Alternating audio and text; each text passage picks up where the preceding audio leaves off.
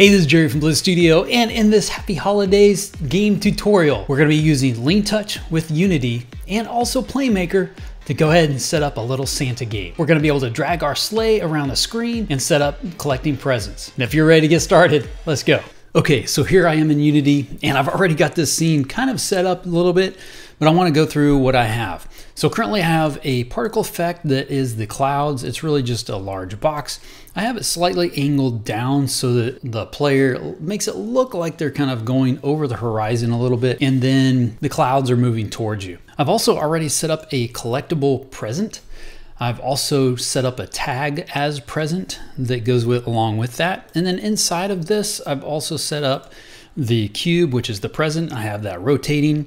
I also have a particle system that makes it look like it sparkles. And then I also have a point light, which is actually just kind of slightly illuminating that particular package. I've also set up a Playmaker FSM on this present. It's translating the game object, so it's moving it in a negative Z direction, so it's moving it towards us at a negative four. Now I'm doing that per second every frame.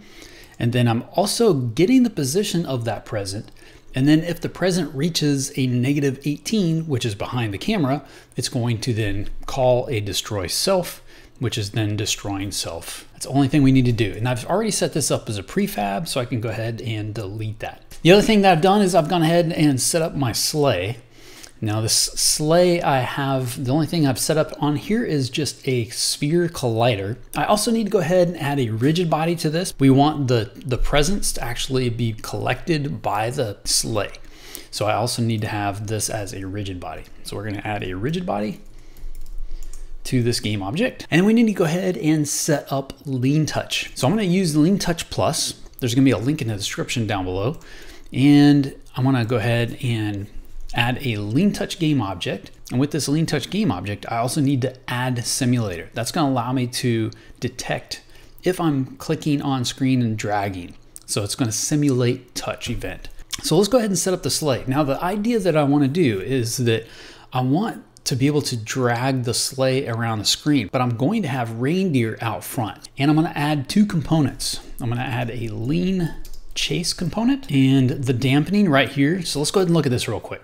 In the dampening, we have instantly change as negative one. So that's if we touch the screen somewhere else, our, our game object is going to instantly move to that position. We've got zero as no change, one as slow change, and then the higher the number, the faster it's going to move that position. So we're gonna start out at a zero Z index, which is where our sleigh is.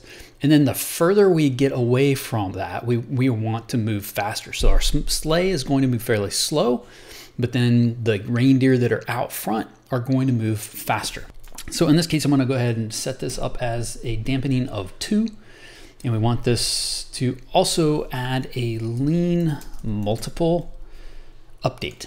Okay, so this is going to allow us to update multiple things. And the specific thing that we're going to look at here is an on-world vector 3. So I'm going to take my sleigh, I'm going to drag it down into the game object that we want to update.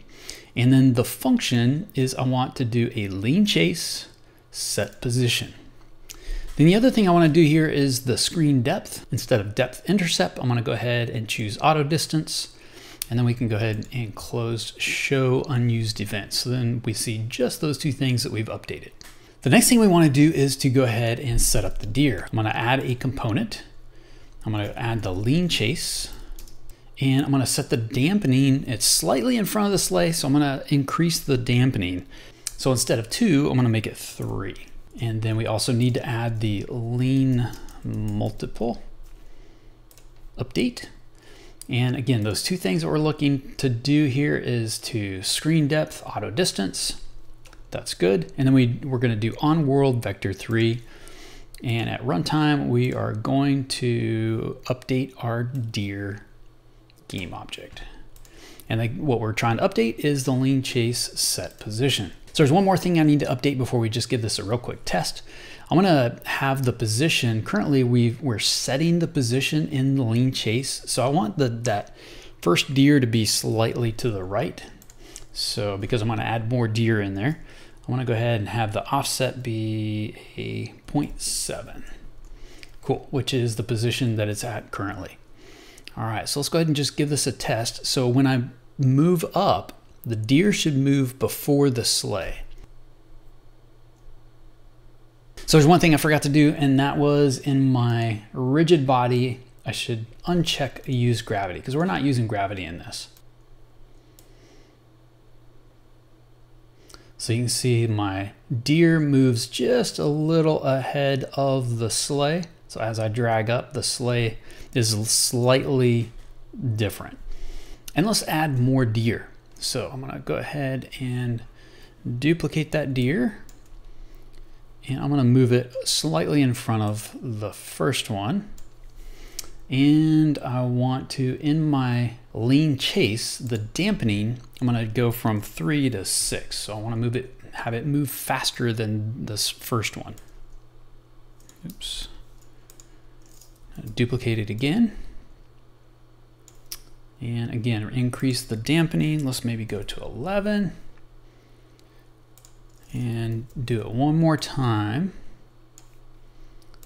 And let's maybe make this like 17. Try something like that. So I'm increasing the number slightly each time. All right, so there's my first four deer. I'm gonna go ahead and duplicate this. And then the positioning here, I'm gonna have the position be a negative 0.7. And then in the offset, I want that to also be negative 0.7. Cool, all right, so let's give this a test real quick to see how it works.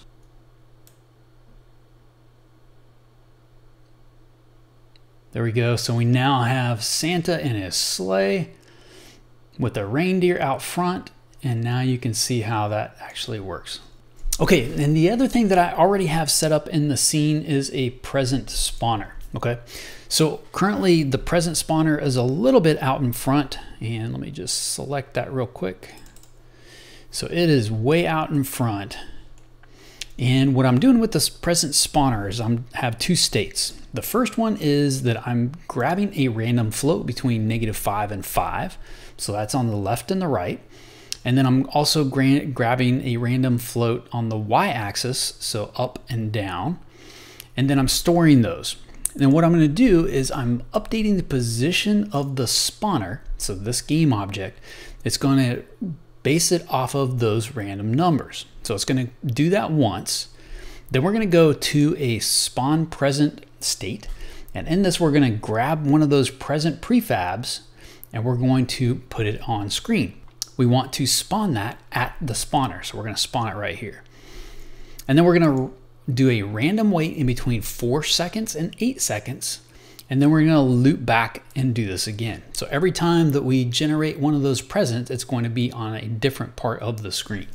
So let me go to my present spawner so you can see one of those presents was spawned. We're waiting for a few seconds and then another one was generated. And so you can see those presents are coming towards me. So let's go ahead and set up a game manager that's going to detect those presents for us. So we're gonna create a new empty game object. We'll call this game manager. And then with that, I need to, I'm gonna go ahead and take my present spawner and just add it to my game manager.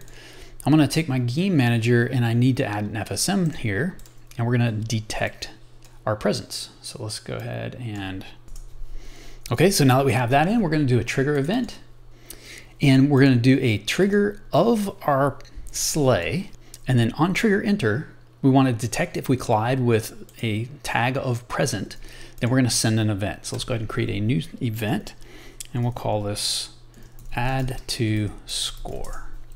Cool, let's go ahead and add that.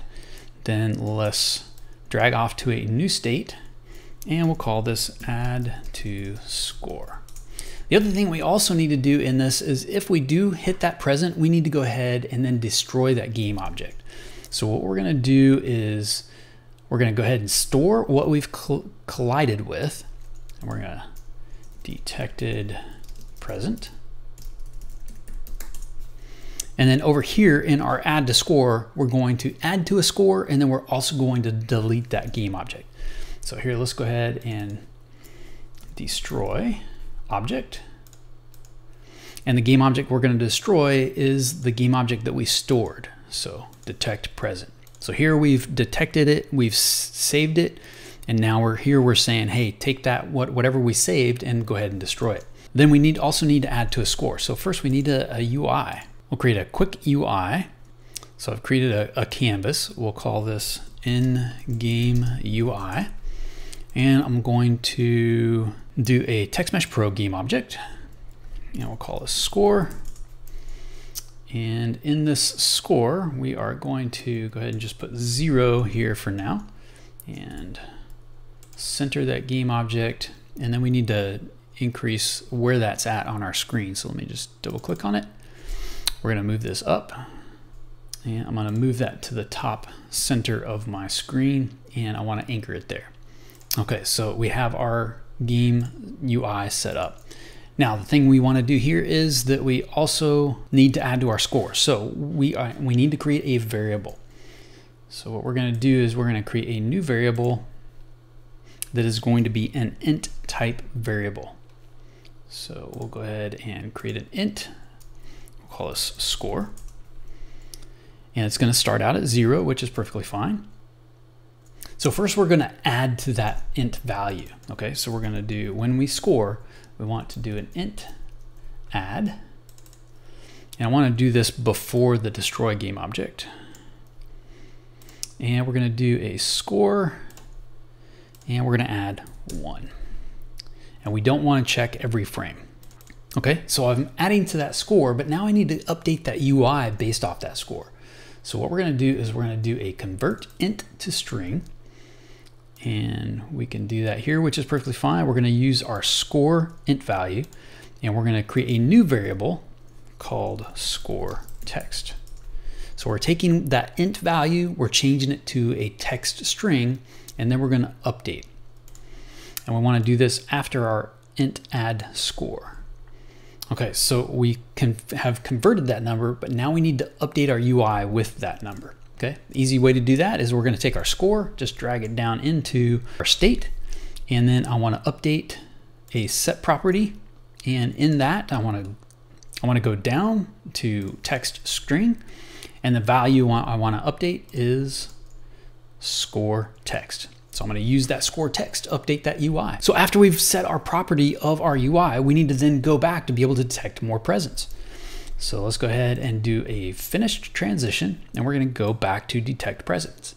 What we wanna do is to add some sound to this as well. When we're adding to our score, let's go ahead and add a sound effect.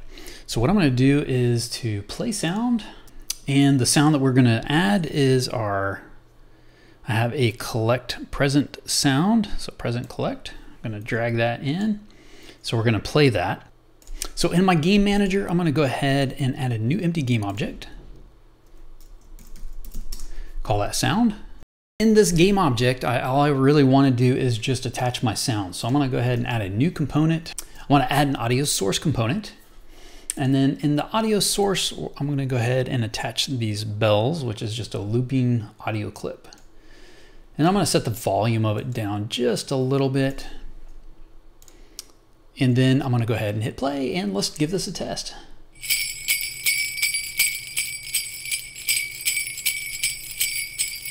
So I've got my sleigh being able to sleigh, got my sleigh being able to fly through the clouds. You know, collecting packages, adding to the score, playing a sound. There we go. Merry Christmas. Hey, I hope you enjoyed that tutorial. Happy holidays, and I wish you all the best. Don't forget to hit like, subscribe, and that little bell icon down there so you know when the next tutorial is available. Until next time.